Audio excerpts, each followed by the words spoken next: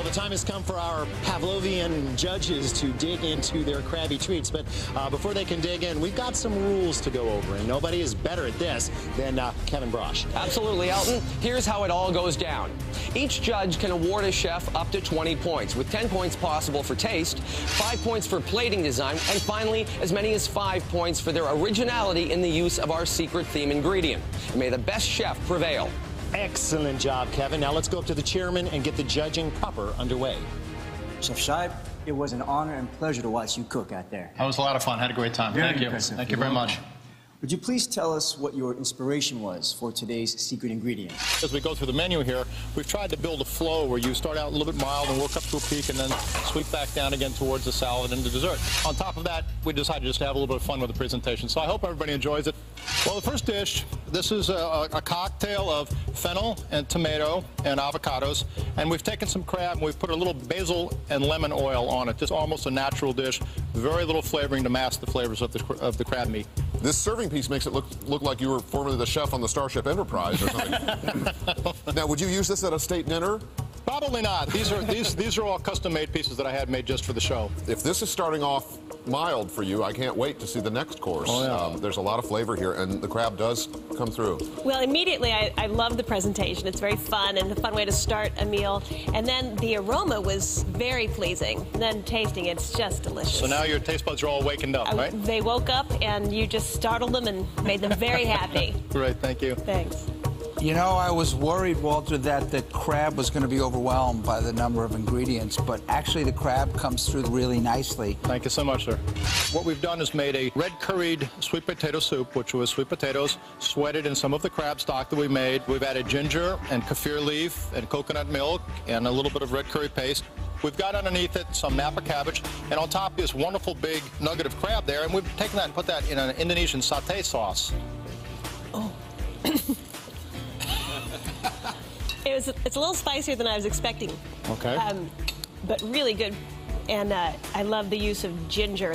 It's such a complex little plate. It's really remarkable. I like it very much. I really appreciate the silkiness of the of the soup and the way that the, the, the complexity and the balance here is wonderful. I love that you've got the, the crispy uh, note from the cabbage. Uh, and I also really uh, enjoy the level of heat on the piece of, uh, of crab meat as well. Wonderful. Thank you so much. No menu of crab could possibly be complete without a crab cake. We've bound it with just the lightest bit of scallop mousse and just folded it together. Now, underneath it, you have chipotle chilies and jalapenos. The sauce has got is uh, roasted corn coulis with chipotle. The fruit itself, it's banana, little fingerling bananas, mangoes, and pineapple. So it's, it's a lot of the components of a regular salsa, but we've cut it larger, and we've also served it warm. You know, I appreciate the fact that you tried to do the crab cake using no binder, but sort of collapsed in a heap. The flavors are great, but I like, I guess I like my crab cakes a little firmer. I don't want them to, to become a parfait before my eyes. Actually, I liked the texture because it, what held it together it seemed to be cooking it. But once again, you've you've put together these different uh, ingredients. So every time I take a bite, I'm experiencing something something new, and it's really an exciting dish to eat. Thank you. Now we're actually going to the crab claw. You can see you've got roasted beets and grilled Vidalia onions, some asparagus, and microgreens. Now, having come off, of course, it's a little bit spicy. Now we're going to start to cool down the palate and work towards dessert. So, enjoy. Uh, you know, I want to say I, I especially appreciate the way you're talking us through the whole crab. The, the texture and flavor of all those different parts is different, It really and, is. and you're treating them differently, and I appreciate that. I, I also have to say I love the, the humor and the history uh, and, and wit in this in the salad. I like the vinaigrette very much. Yeah, I think it works beautifully. Thank you, sir. What I love about this dish is you really taste how good Dungeness crab is. The sweetness of the crab just shines through, you know, like a laser. Just the whole thing works. Thank you, sir. Excellent, Chef. Next course, please. The dish is called a pastilla, and it's historically made with saffron poached chicken and raisins and almonds, and it's wrapped in phyllo. The sauce that we've taken with here is a caramelized honey. We've just taken some lavender honey and just reduced it down in a pan just to turn the color a little bit and give a little bit more richness to it, so it's not quite so sweet. And we've added some saffron to it, and just a little, little touch of cream just to give it some texture. Once again, you've managed to not just make it uh, just a mash of flavor. It's I can taste every ingredient separately, and I love the surprise of the crab.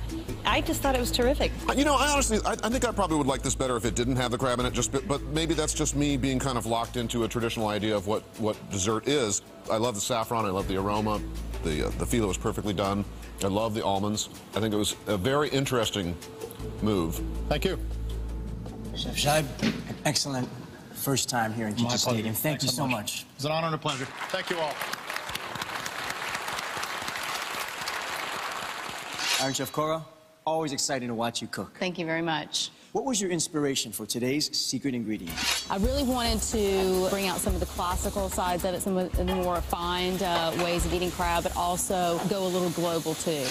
May we begin? Absolutely. What I have here is a crab tian, and the bottom part is crab, green apple, a mango, a little bit of radish, and then the top is a green apple and champagne mousse. So please enjoy. Iron Chef, what a, a marvelously sophisticated and beautiful dish this is. Champagne and, and green apple mousse is a lovely foil, I think, to the sweetness of the crab and quite just an exquisitely beautiful preparation, too. There's something so delightful about this dish, and maybe because I'm a girl, it's kind of a girly dish. Well, it is a wonderfully light dish. I was a little concerned about the texture of the mousse. There was a little too much air beaten into the mousse, but the whole thing worked. It's a lovely way to start a meal. This is a crab cake sandwich. It's got all the classic ingredients, the jalapeno, cilantro, peppers, onions, scallions. And then I just took a really nice salsa, just really brought out the essence of the avocado. It's a little ambrosia in the bottom with just a little crushed cara cara to give it a little citrus kick. And then a slaw, a little jicama ginger root slaw uh, on the side. Uh, it's an excellent crab cake or crab cro- croquette, and it's great. And I do love that fruit. And I like going back and forth. The two textures complement each other perfectly. The taste, I don't. I just think it's really, really great. Thank you very much. Well, this is my kind of crab cake. Doesn't melt, doesn't become a fallen souffle. I could have picked this up with my hands, but I had to hear from my wife when it when it aired. It would have been really ugly. It would have been ugly. So, anyway, Thank but you. uh, this is my kind of crab cake. Well, now we're taking a trip to the Basque region of Spain. We've made as a rice paper galette. We've used all parts of the crab, the claw, the leg, the body. We've just lightly seared it. We took some gorgeous uh, baby fennel and just shaved it very lightly. And we actually used the broth that we steam the crabs in with all the flavoring and added uh, smoky paprika to it uh, just to give it a compliment to the dish. So enjoy. Crab, I always think of it as such a delicate meat, and, and actually you're, you're showing how it can be used, even with some fairly intense flavors, and still kind of stand somehow stand up. It's just three very distinct flavors, and they go together so well. It's very pleasing. I think this part of the dish is a little bit plain without adding that, and uh, but you said absolutely to to mix them, and it's that's exactly the right thing to do with this with this dish, I, I think, and it was it's terrific. We had to do a roasted crab. What we've done is we've taken a half of roasted crab. We've taken it. We've done a spice rub, some paprika, cayenne, oven roasted it, and then took the tomalley out of the top and made a tomalley toast out of it with a little bit of a scallion, onion, uh, some of the tomalley, and then we've got a beautiful coconut tapioca curry um, sauce for it. I, I have to say, I, when, when I'm in a restaurant, I'm generally kind of lazy, and I, I, I, I don't want to work too hard usually. But that's but I, but I appreciate that you did this because I think it's inherent to the crab experience. So I'm really I'm glad that you that you presented that presented it that way, and I think it's really cool. Well, I could just eat the broth and the toast for like days. The crab, although it had good flavor, dried out when you roasted it. And sort of the more I dug into the claw, the drier the meat got. But it was easily solved because I just put it in the broth, and that broth, as I said, could could satisfy me for days. This is a very classic Japanese um, steamed custard called chawanmushi. The idea is that it's a treasure hunt. The treasures in our dish uh, are edamame. We've got candied ginger, and at the very bottom you'll find, of course, the treasure of the day, which is Dungeness crab. Then we put some really, which I love, the little marsh crabs, which we just deep fried and almost candied a little bit. Well, I, again, I think the presentation is really is, is adorable. I'm not getting a big crab flavor, and uh, the and the, the texture is, is is not the most beautiful, uh, um, but you are combining some pretty crazy things here. Yeah, it's adventurous. it's a lot of different tastes and a lot of tastes that I like. I'm not certain I like it all together, and the texture of the top is a little is not my favorite. But there are tastes in there that I just adore, and the presentation is really beautiful. Yeah, th- this is a kind of a crabless wonder to me. It doesn't really work, although I like all the individual elements of it. And the texture, it- it's sort of, the custard is breaking up, and I guess it could be because of all the stuff you put in it. Excellent, Iron Chef. Thank you Always very exciting much. to have you. Thanks.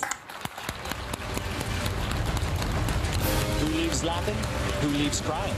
The verdict in Iron Chef America returns. Food fans. Welcome back to Iron Chef America. This has been a battle, a Dungeness crab, and it's the moment that we have all been waiting for the verdict. Let us remember there are 20 possible points in the competition. 10 are given for taste and flavor, 5 for presentation, and a final 5 for originality. Now let's go up to the chairman and find out whose cuisine reigns supreme. Today, two champions met in battle Dungeness Crab here in Kitchen Stadium. Iron Chef Cora, Chef Scheib. The judges have spoken, and the winner is Chef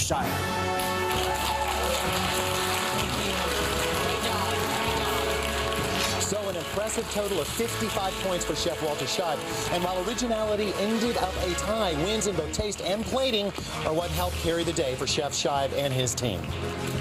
As for Chef Scheib, uh, he goes off and adds Iron Chef America champ to his already formidable resume. As for Iron Chef Cat Cora, well, she'll go sharpen her culinary claws and prepare to fight another day. And so it goes. I'm Alton Brown on behalf of the chairman, Kevin Brauch, and everyone here at Kitchen Stadium. I bid you good eating.